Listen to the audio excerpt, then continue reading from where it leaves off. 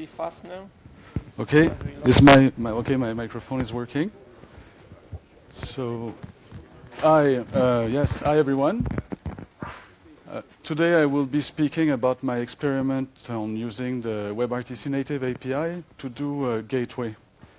So I will start by, by speaking a little bit more about where I'm coming from and why I think this may be uh, really valuable if so in the past years, uh, uh, in the past year, I've been uh, working in Seattle for FlowRoute, and I'm mainly focusing on uh, scaling SIP signaling. But the four years before that, I was working uh, at Libon, and my main uh, role was to ensure audio quality. We were monitoring it well, and that there, if there was any degradation, we would be able to identify why and there was millions of calls, so it was a really good uh, place to, to verify what is going on on Android devices because Libon was a, a, soft phone running on Android. It was using a Belledonne communication Linphone under the hood. So I was mainly working on the, the native part of it. Great piece of code, uh, media streamer. I became expert with it and I learned many things uh, while using it. I worked with other people like Dragos and uh, Libon was kind of uh, very rich because it was founded by Orange, and they were, they were hiring specialists, and it was a really good experience. So, yeah, then uh, what is the WebRTC gateway? I think there was already a lot of discussion about it. So what it is doing, I mean, there may be different uh, RTC gateway doing different things. I guess one of the big differences, is are you transcoding or are you relaying packet? Because you can gateway without dealing with the media. Here I'm highlighting the fact that what I have in mind is to take care of, benefit from the QoS best effort that WebRTC can provide with their jitter buffer management and with their bandwidth estimator. So all the other details we can, uh, I think they were already discussed uh, briefly by others. Uh, so let's, let's uh, explain why I believe uh, WebRTC is so great based on my experience. Uh, the last update they did, they were saying that from now on there, there, there is a switch and there is more and more people using WebRTC to do native uh, application out of browser. And they do embrace this idea. And we have seen such a great example in the previous Matrix demonstration, amazing stuff. Um, they also are accepted to, to provide, um, to uh, expand the API to, to, to let you inject your own codec, non-free codec. They don't want to deal with licensing. But uh, the API will support the fact that you could use uh, any codec you want now. I, I, haven't looked at this part of the API. And their mission is also seems to be aligned with not only browser kind of stuff. Uh, so they are really expert on Android mobile devices. They are optimizing most of the code is optimized. Uh, also, we greatly benefit from Opus, which is also optimized for uh, AMR and other CPU. So the uh, in terms of what they are doing, I think they, they may agree with this kind of usage and they may be able to make it support it in some ways. Uh, now, uh, yeah, other things that are really great in WebRTC is they do know many things about signal processing. I don't know the team or the, the engineers, but what I know is that they are doing great things. And the proof is uh, some of their code is, has been stripped from WebRTC and used in other free software, which is great. Like PJ Media is using, is integrating both uh, Echo Canceller, the Echo Canceller for mobile, and the the echo canceller that was made two years ago, the echo canceller delay agnostic, they were saying that was the value. But now they came up with something new anyway, a new algorithm, even better, because uh, there was some. Uh, sometimes it was it was having a big downside. It was altering the. I, I, they, they, are explaining better than I won't be going into the detail, but in Path to 1.0 they are explaining why this algorithm is better. My point is that there is a lot of uh, knowledge in WebRTC and lots of skills. And uh, it, everybody may know that, but uh, so here I'm just sharing an integration of their uh, their echo canceller in uh, Media Streamer. But my oh here what I want to highlight it's it's kind of hard to strip the code and maintain it in another software because sometimes when you, you have to open to benefit from the latest patch and then you, you, your code is broken So you need to update WebRTC, maintain the compatibility with WebRTC. Sometimes it's challenging, I think. That's what I saw in, uh, in MediaStreamer, uh, because uh, when, I, when, you were, when I was going to update the ASCM, then suddenly I needed to update other things, and it was, it was more work. Okay. This is just a side note on to, show, to see that we are already using WebRTC in other soft phones, but there may be a way to use it in different ways and completely compatible ways. Um, so then NetEQ, which we cannot see, is their jitter buffer in the decoded domain. So I, I, when I was working at Orange, I was uh, lucky enough to work with some of their signal engineers specialized in audio, and they, they did have a look at NetEQ, and they had great opinion about it, the way they were doing it was doing fast accelerate. It was more evolved than, than other jitter buffer that were made by Orange but maybe not as much as maybe not the EVS. They're they're really uh, flagship. I don't know, I don't have any. Uh, I don't know if EVS may be as good or better. I, but they had great opinion on it. So, and it's really challenging to do, and especially very difficult to test. And where WebRTC is also bringing something great here is they have billions of calls per month now, and they are gathering statistics from these calls. So this kind of testing, I'm almost no, it's hard to do uh, the kind of testing that they will be able to do and that they are already doing. They did an A-B testing campaign with their echo canceller last year. So they can verify with some, uh, I don't know how they select the candidate though, it maybe, uh, I don't think it's random. So here I'm just saying that we can control this. It's really easily from the API uh, when you are in using their, uh, their C++ API, you can just set the maximum buffer size. It's exposed, so you don't need to, to, to, to, to change the code, their code.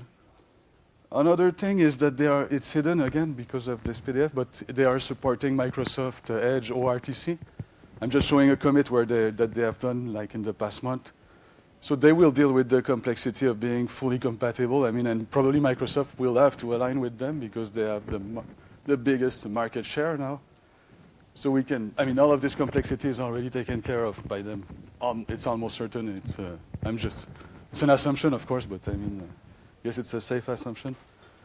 Um, and then their bandwidth estimator, of course, it was aimed at video, but they did say it was supposed to be activated for uh, audio as well.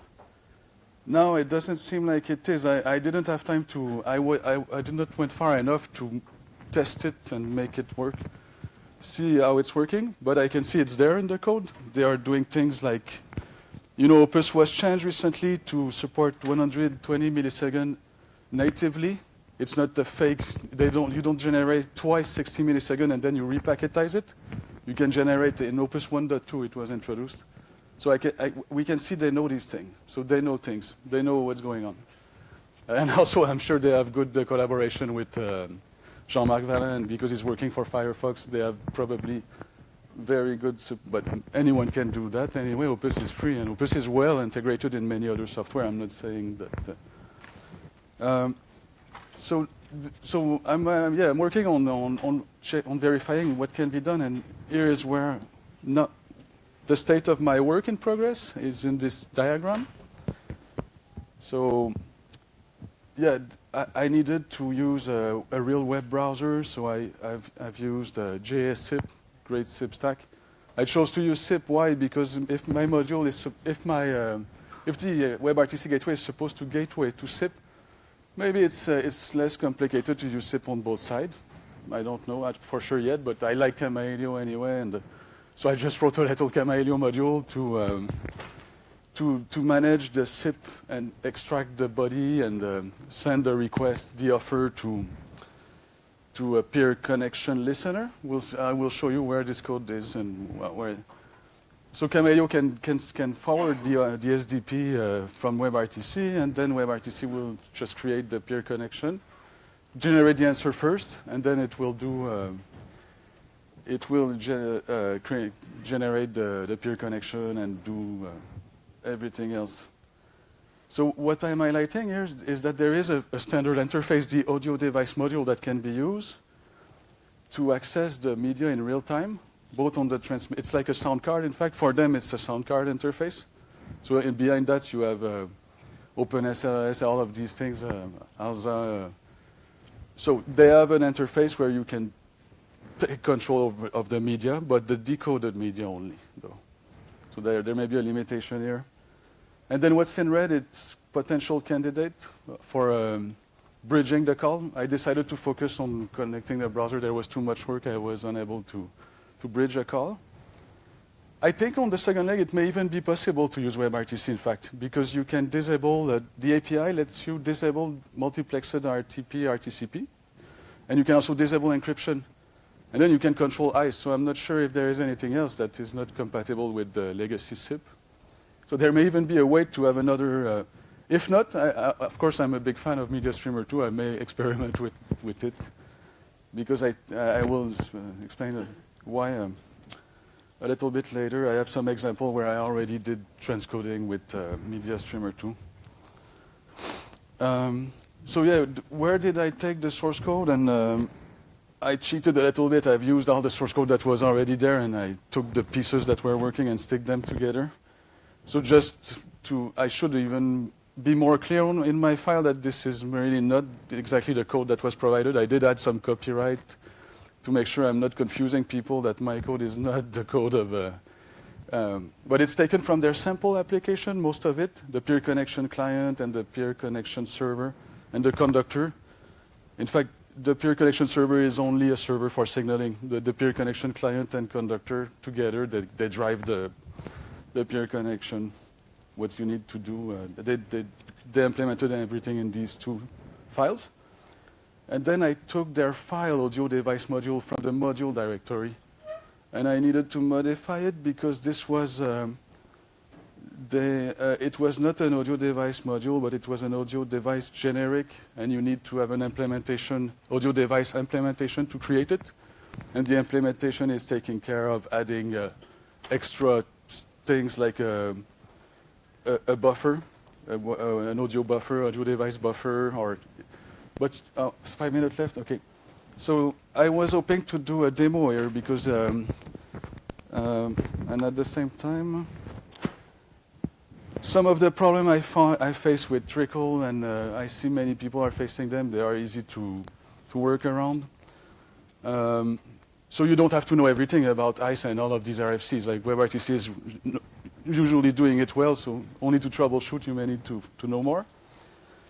Um, so all my code is shared, and it can be built without forking WebRTC. This is how you, you create an audio device module by using their abstract base class, and then you need to add your audio buffer yourself because you can't use the implementation. You have to provide the audio device. Um, here you can see in this constructor, we can specify the audio device. Um, you can see it maybe. So your audio device has to be fully operational at this point. Uh, so before you, you need to, yeah, that's why you need to create the audio device uh, buffer before. And then I'm sharing also the code, the Kamailio module that can be used to drive this, even if it pro it's probably not useful for um, many people. Then again, I'm coming back to where I started from. Uh, the, the, the, expertise in uh, audio quality is very high. They have 150 metrics. When I was working at Libon, the first thing we did was to do uh, add some metrics to monitor everything, and I reported call by call to know what's going on, uh, to, and then cross-check the statistics with the user ratings or the average length of call to verify if, if it's really uh, what is impacting the users. So WebRTC is already fully rich with all of these metrics, so there is little work to do on this part of things also. So this I already spoke about it, yeah. So maybe I can do a demo then if I have five minutes, just to prove that um, I'm sure you're already convinced that this can be working, but um, if I go back to the little demo here, you can see that Kamailio is, re is re returning me SDP generated by, um, by um, WebRTC.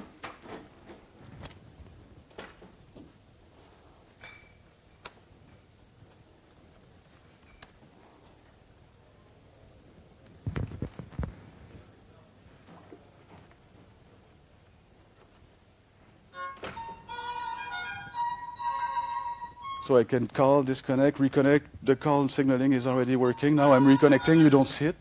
This is hosted in Packet in uh, New Jersey. So it's just it's running on a server, and you can play and record a file. So of course it's just uh, it's working on a server side now.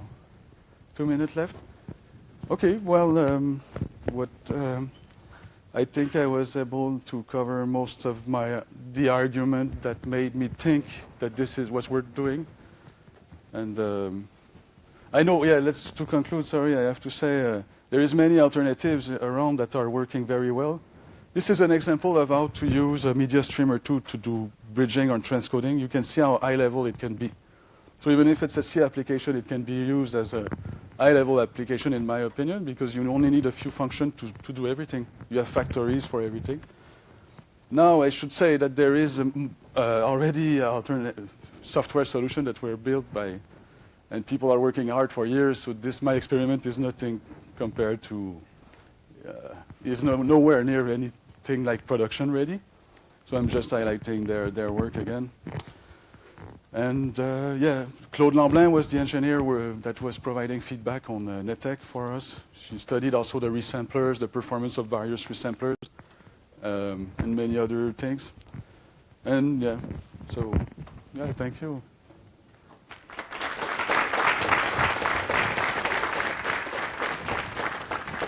Thank you. We probably have time for one or two questions. Questions? My question was, you link against a library? Is there a library you link to build this application? Or? Yeah, no, you compile your application standalone. There is no need. You, you have to build WebRTC the libraries. You link to